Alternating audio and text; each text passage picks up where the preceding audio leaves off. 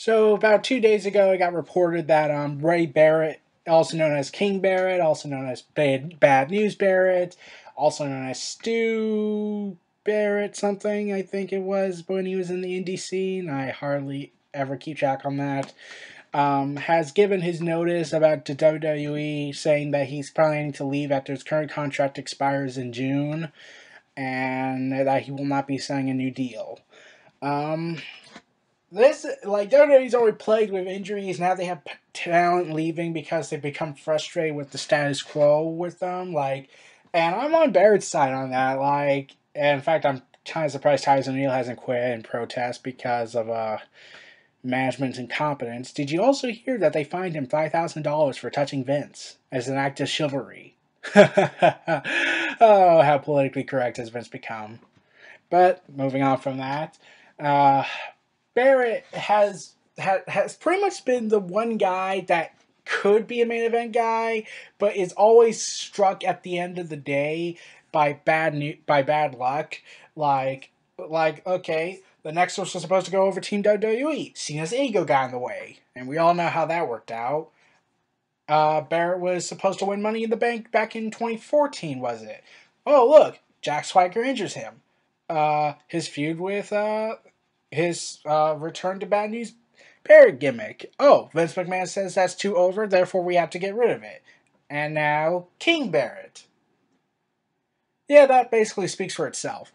So, yeah, Barrett has had so many creative mishandles with incompetent management, injuries, and ego that it's sad that Barrett never got a chance to be a t- like I kind of when I first saw him, I was like, okay, he's gonna be a two-time world champion. I'm, that's at least getting where a two-time champion's gonna be, and was I completely completely wrong?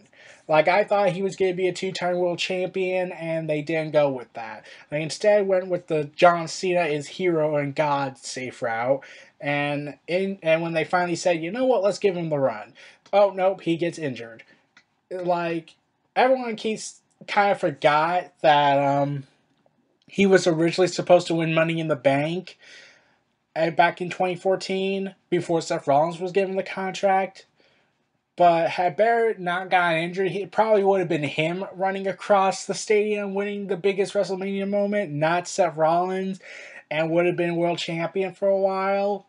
And then Seth Rollins probably most likely would have taken it. But yeah, the, like a whole lot of things happen by mistake because Jack Swagger has an injury problem proning to happen and injures people. Let's not forget what happened to Dolph Ziggler after that kick to the head. And it's said that um, Barrett is Barrett has reached this glass ceiling that was placed on him by ego, by management, and by injuries so I don't know what's going to happen after Barrett leaves WWE in June.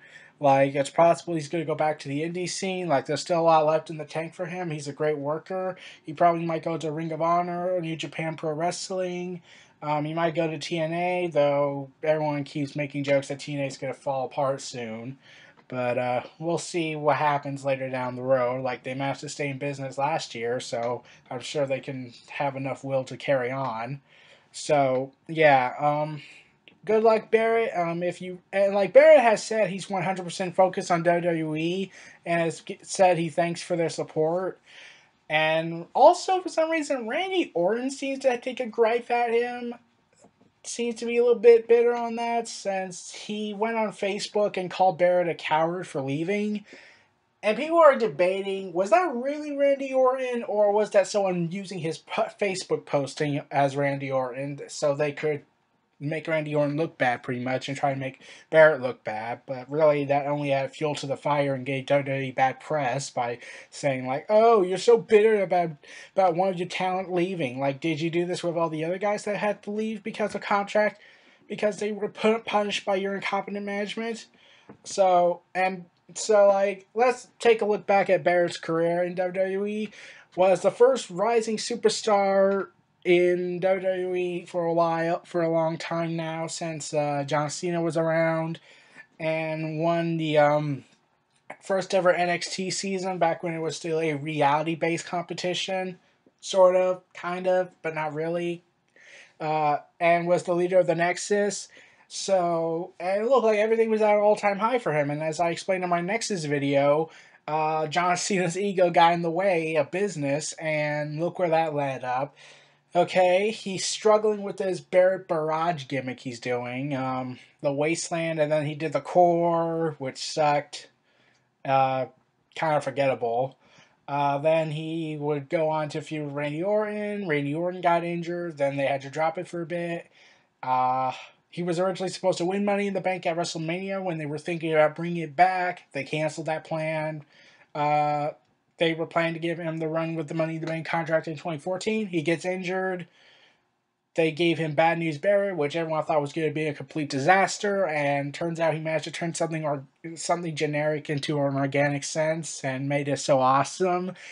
Then Vince McMahon thought, despite the fact that he came up with the idea that shows, yes, Vince McMahon can still come up with good ideas when he really is motivated, but he hates it when it's getting popular and organic, not forced and not by force, pretty much. And well, look how that turned out. He even Barrett gave an interview saying confirming this, saying that yeah, management told me to stop saying uh, I got some bad news because everyone loved it Fuck you, WWE. Fuck you. So now he's just been roaming around with the League of Nations, which failed miserably after less than a week when Roman Reigns beat them in a handicap match. And then Barrett got injured and just been on the sidelines, like, and just still there, like, oh, uh, hey Barrett, um, Okay. So, yeah, that's pretty much summing up Barrett's career in a nutshell with uh in if I was to go with, with the short route instead of the long route, that could take forever. Um, this was Neo Reality Entertainment. Feel free to like, comment, subscribe, and donate. Stay tuned for more.